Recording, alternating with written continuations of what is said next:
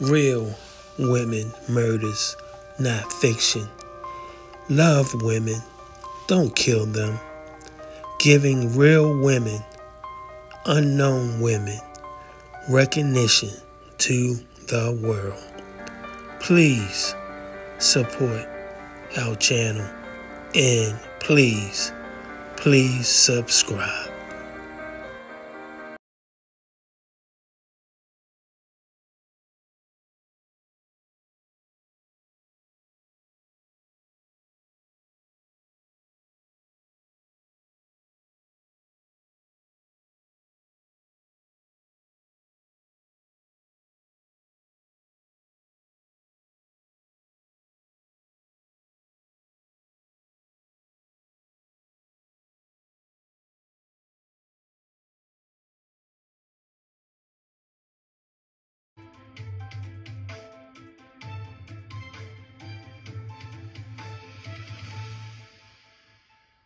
Home today. Police are still searching for a suspect.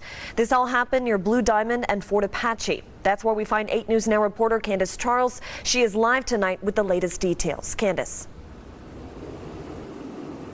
Sasha, police say a young girl came to her home here in this gated community and found her mother dead with a gunshot wound. As you can see, this is still a pretty active scene. Las Vegas Metro Police say they got the call around 12:30 this afternoon about a woman dead in her home in this gated community off of Fort Apache and Blue Diamond Road. They say the daughter was the one who called the police after not hearing from her mother since 2 a.m. this morning. The teenager then came home and went to her mother's room where she found her mother dead with a gunshot wound, her sister sleeping in the other room.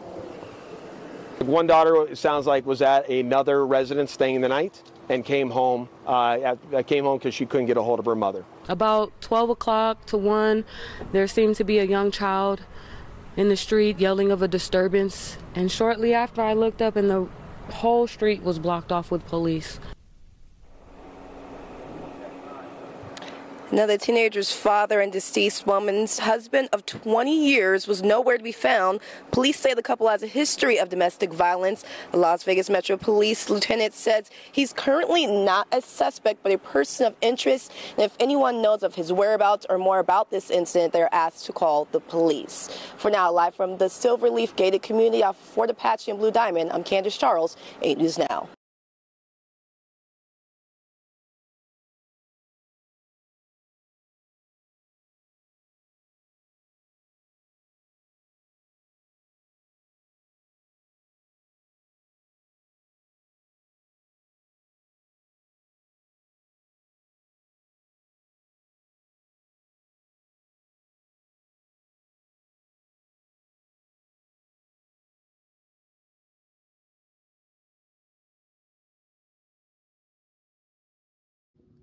Thanks for watching.